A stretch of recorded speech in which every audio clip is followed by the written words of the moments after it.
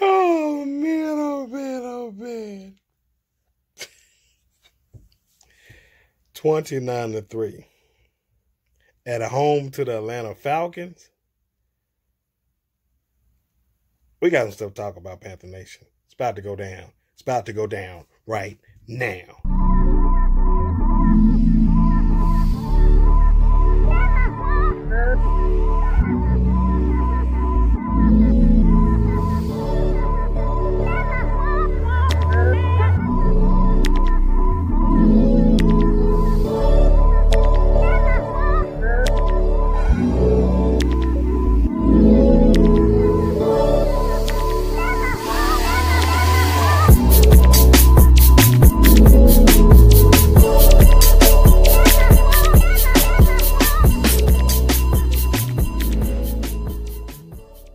Yo, yo, yo, what's good, what's good, what's good? It's your boy Mike Ricks, man, aka Panther Mike 07, part of the NFC South versus the NFL.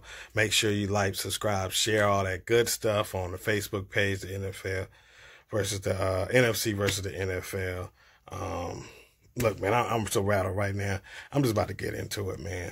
Raw emotions coming straight off the game. Usually like to sit with some stuff, but I'm decided I'm not to do that right now. I'm to give y'all the real um, real raw. Might feel differently tomorrow, um, but hey, I'm gonna give it to you straight up. Where do I start? How about I start here? At home to the Atlanta Falcons, who I knew wasn't going to be a pushover. They seem to have our number. Dan Quinn seems to have our number for some reason. They've won six out of the last seven, I believe something crazy like that. I don't, I don't know if it's that bad. Yeah, yeah. Since we somewhat embarrassed them and um that 15 and one season, and they upset us to make us have a loss that season. Um, yeah, they've had our number. I recall one game I was at, my boy Jamar, shout out to him in Burpee, uh, went to the Falcons game that we won, and outside of that, I think we've lost to them. Um, 29 to 3, y'all.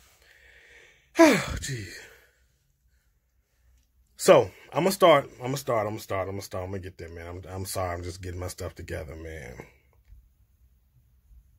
I've been giving this coaching staff a lot of props. A lot of props. Um, this one is completely on the Carolina Panthers coaching staff. This game is on them. Um, and I'll trust and believe. There's a couple players I'm gonna throw out there too, but this one right now I have to give just off of raw emotions to the Carolina Panthers coaching staff. There's no way that you're five and four with an opportunity to get a win, to put yourself in position for the playoffs, and come out there not prepared, not ready to play football. Um, we've said it before. One of the most important things, especially for our young quarterback, is to take care of the football. It's all you have to do. Our defense is going to play well enough. Christian McCaffrey is going to do what he does. Just take care of the football. That's all you have to do. Take care of the football. We give ourselves a chance to win. Um, but looking at the game plan, looking at the coaching, this team wasn't prepared to play. They gave up a special teams touchdown. They had four interceptions, man. We, we threw four interceptions, man. The defense, what what else can you expect them to do? They scored 10 points and it wasn't even their fault. So then they pretty much gave up one touchdown, I believe. It was like 20 to, I don't know, 20 to 20 to 0 at that time. And I mean, come on, man. What, what, what do you expect them to do? Oh, but everybody's going to say, hold the defense. Now, they actually played much better against the run. Julio did go off. The receivers, Calvin Ridley did go off. He somehow, um, Alabama versus LSU, he somehow gets the best of Action Jackson. He's been doing it every single game. oh, man. Um, what you want to say? The pass rush? Oh, Kyle Allen, our line was terrible. Man, look, Matt Ryan got sacked and was getting sacked just as much as Kyle Allen in that first half. What's the problem? He just took better care of the ball. Um, I know I'm all over the place, man, but matter of fact, I'm gonna just go there. I'm gonna go there. I'm gonna just go ahead and go there right now. For all of y'all saying that oh, we have our franchise quarterback over because of eight games. Oh, we can get rid of Cam Newton. And a lot of y'all still gonna feel the same way. Um, I'm somebody that prides myself in understanding the game of football. I play the game of football. I watched it. I watch it religiously like crazy. I study the game. I coach football. Um, just had a football banquet with my son. Didn't coach this year, but I did a lot of recording. Uh, I helped out at times, but I'm back out there next year. But anyway, so I, I, pay a lot of attention to this game I call football. I love it. I love it. I love it. I love it. Um, so I'm not just your typical fan that's going to look at fan things. No, I'm going to analyze a lot of it. And a lot of that is the eye test along with numbers. Numbers don't lie, people love to say. So the main number people were just seeing were the wins. Oh, this was the same team that Cam Newton had. No, this was not the same team that Cam Newton had. Cam Newton's defense last year was nowhere near as good as this defense is, as far as the pass rush and things like that. We didn't have that last year when he was going on that eight game losing streak. Yes, the defense was new. Bruce Irvin didn't play any of those games. We had a young, um, I mean, a new, a lot of new players that we had to get adjusted to. It was taking some time. Still thought the defense played pretty good, especially against Tampa. They could have been better, but for the most part, they played really good. Um, and we lost that game. The Rams game, Cam, I thought came out and played really good ball, especially the first half. The second half wasn't too bad. I mean, but anyway, I don't want to go on that, man. Y'all just crazy as I don't know what. If you think that if we go put the franchise in Kyle Allen's hands, that we're going to be successful and we're not going to have some rough, rough years ahead of us. We might as well blow it up and just start all over if that's what we're going to do.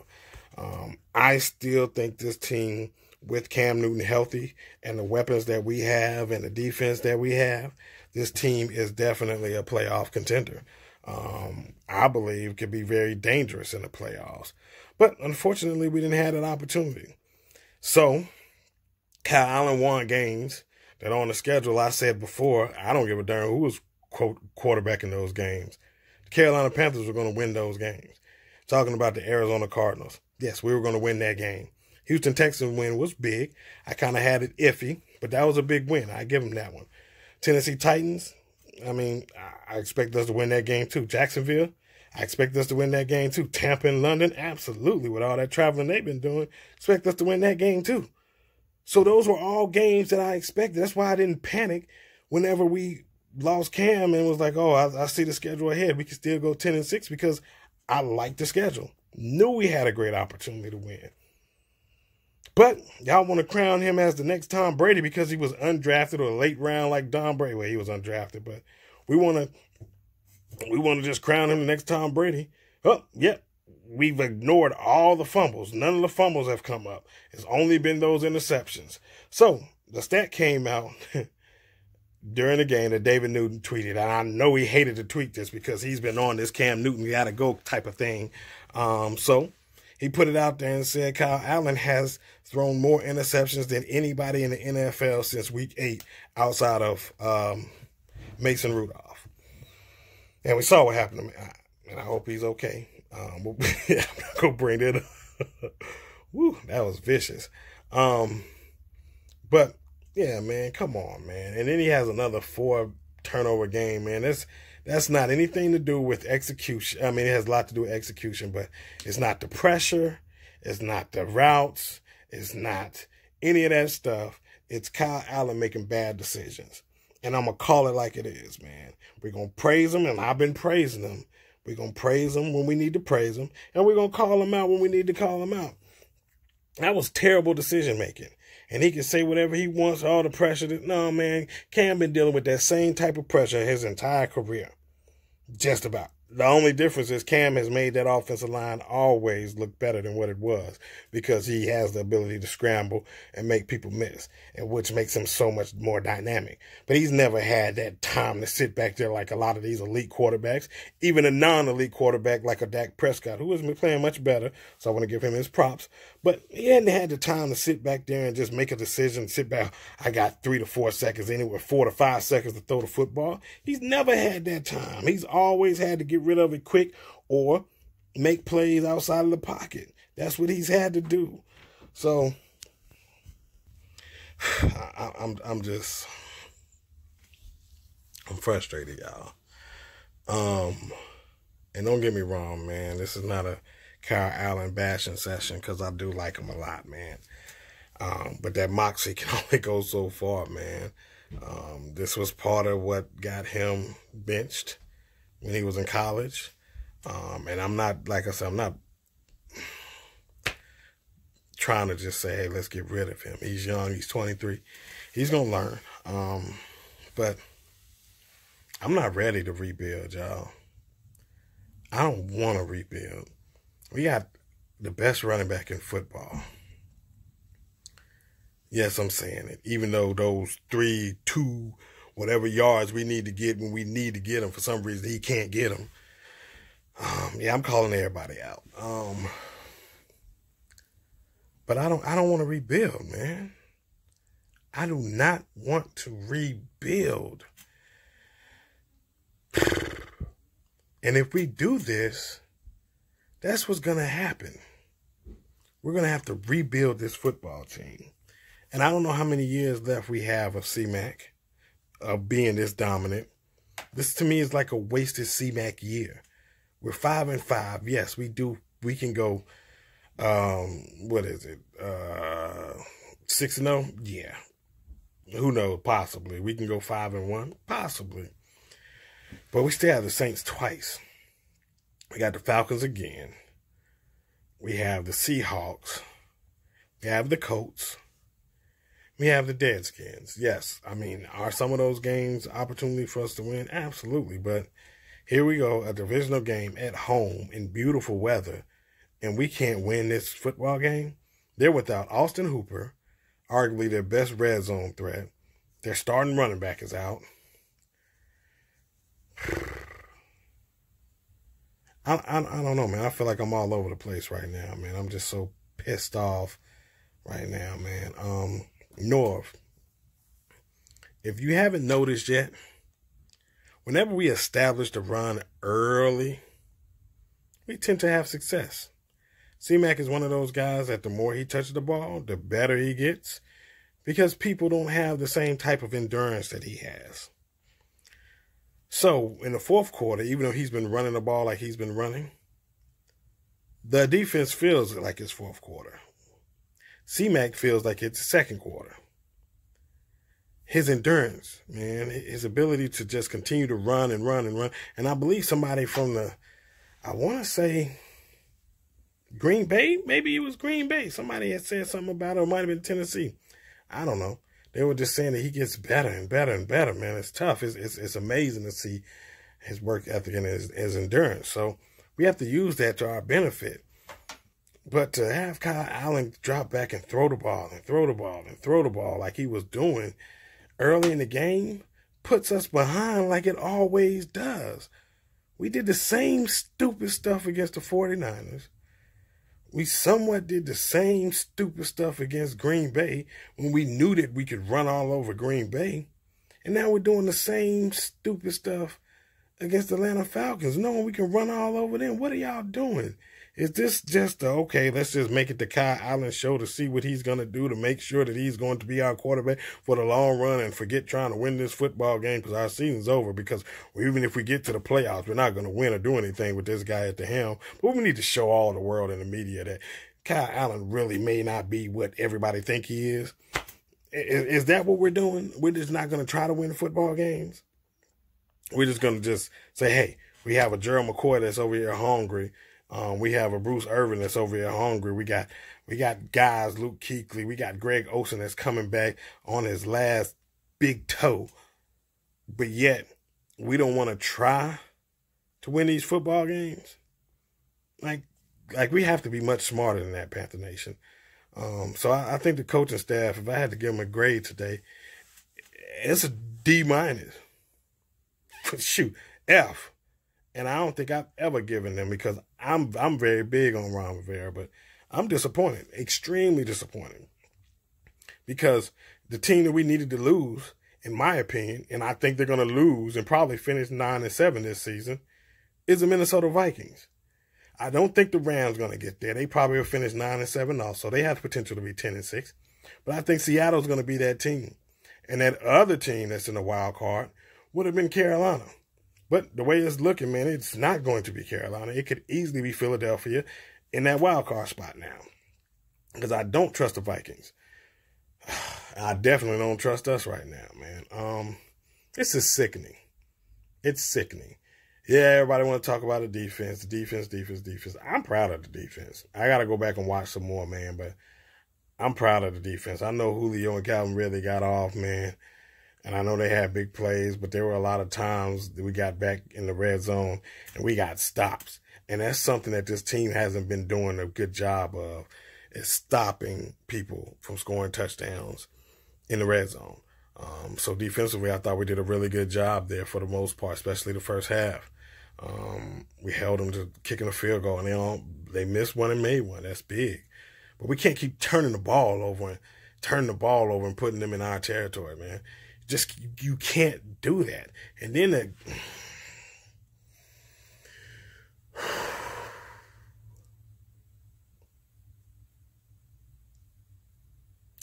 We got to get somebody that can throw the ball to Curtis Samuel.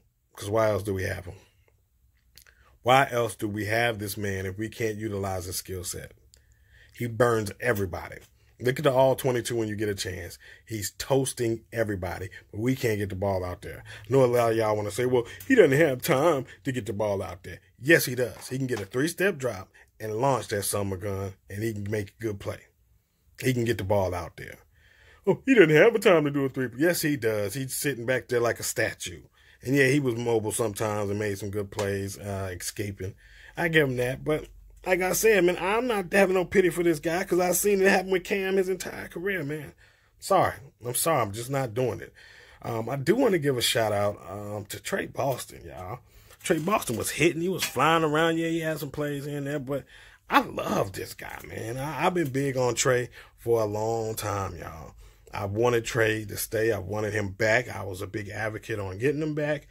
Um, he just brings so much to that defense, man, that secondary and the energy. He was flying around, lighting everybody up. Julio lighting up uh, the running backs. It didn't matter who it was. He was just flying around. Baya, baya. And I, and I like that, man. I like that a lot. Um, Gerald McCoy with another sack. Mario Addison got his sack. Shout out to him. I thought Shaq played decent. Luke had some good moments too. He played it really much harder, I should say. Um, so he was involved. That nickel was killing us. Um, Cockrell being out hurt a lot. Um, Elliott struggled. And I think Dirk Koetter knew he, he had to pick on Elliott because he did have him. Um, so he picked on him. Um, but shout out to the Atlanta Falcons, man. They've been playing some good ball past two weeks, man. I don't know what happened after that bye. They made some adjustments. They're getting pass rush. They're getting turnovers. The defense is playing really, really good ball. And offensively, man, they're just doing what they're doing. Um, and they're to continue to do that. But, hey, man, I already rambled too long, man. I, I, really didn't touch as much as I wanted to. I'm just, I'm just all over the place, man. I'm, I'm so disgusted with this team. Um, Cam, if you ever watch and you are watching, I was not one of those fans ever. You hear me? Ever. I have a Cam Newton jersey. Only Carolina Panther jersey I own. But I'm a diehard Panther fan. I got all kind of shirts. but the jersey's expensive, dog. I got family. But my babies, man. Both of my sons have Cam Newton jerseys. Um, I'm a big Cam guy. Some of y'all aren't. I am. I know what he can does, and I know what he's done for us. And and we got spoiled because oh he can't throw at but the things he was doing. He was hiding a lot of deficiencies, y'all. For one, the running game. Jonathan Stewart was decent, but he didn't get over a thousand yards like that and running the ball line. Cam Newton helped with those rushing touchdowns of being able to run the ball and keeping us top five in the NFL in rushing. Cam Newton helped our defense stay off the field because he was plugging away, getting drives and getting these breakaway runs and and then the passes and completions. So, I mean, I, I think we took this guy for granted. I still think we are taking him for granted. And Cam, if you're watching this, man, I wasn't one of them. You have a lot of us that believe in you. We want you back. We need you back. Definitely, if we're going to have a chance, man. This guy has played eight real seasons. I'm not counting this one. And he's took, taken us to the playoffs four of those eight seasons. That's a lot, man. Especially the time before when 16 years we've only been there four times. Come on. Y'all, y'all gotten spoiled and you're extremely ungrateful. Um, but with that being said, Kyle Allen's our guy. We're to have to ride out. We're to have to somehow fix it. We got to go to New Orleans next week. That's not tough. That's a tough place to play. And I know he lit them up. Oh, he lit them up in week 17. He lit them up in week 17 when they had nothing to play for, right?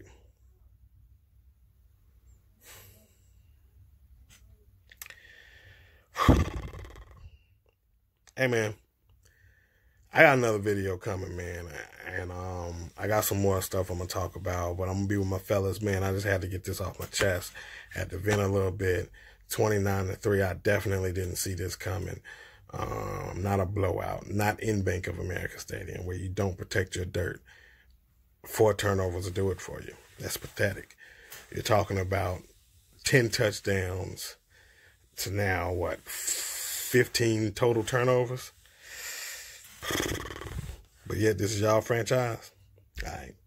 Anyway, man, it's your boy Mike Ricks, man. Once again, I'm part of the NFC South versus the NFL. Don't forget to like, subscribe, share, comment, talk, rap with your boy so I can get back with you. Um, follow me on Twitter. And don't even follow me. No, I'm just at Mike Rick 07, man. I'm die hard, y'all, so we gotta keep pounding. So let's keep pounding, y'all. Try to be 1 0 by the end of next week. Season's not over yet, but it ain't looking good. Well, let's try to remain optimistic. All right? I'm out.